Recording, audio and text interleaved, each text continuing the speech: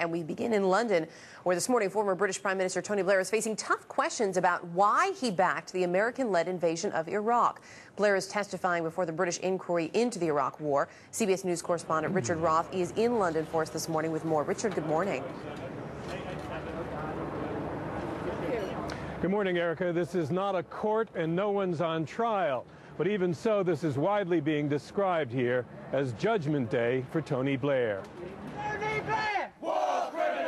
Among the demonstrators outside, the father of a British soldier killed in Iraq said the point of the inquiry is to teach a lesson to the country and its politicians.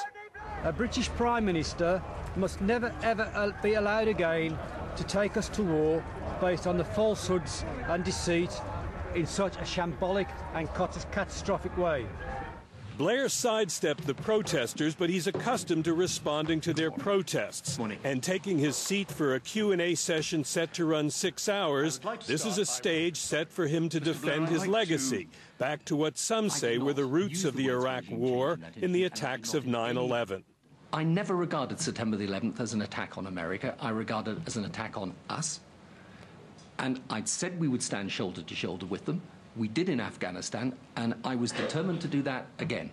There are questions whether he secretly committed Britain to war in Iraq in a deal with former President Bush, Excellent. whether he pushed officials here to sanction the war as legal, and whether he manipulated intelligence to support the claim that Saddam Hussein had weapons of mass destruction ready for use. You know, he had used them.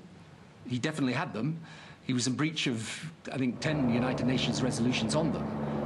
The inquiry isn't to assign blame for the war or to decide if there was criminal conduct pursuing it.